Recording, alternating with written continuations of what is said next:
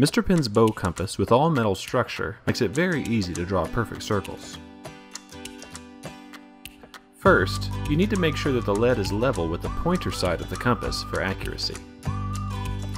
Then set the distance between the legs to your desired radius by using the center wheel. The good thing about this compass is that once you set the radius, the legs will not move even with pressure.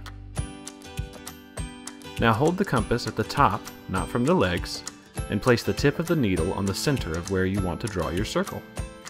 Rotate the top while pushing the legs down to draw the circle. Mr. Pen's set comes with extra lead. You can also buy Mr. Pen lead replacement if you ever need extra. The lead is 2 millimeters in diameter. You can change the lead when it gets too short. Just loosen the screw on the side and replace the lead and tighten the screw.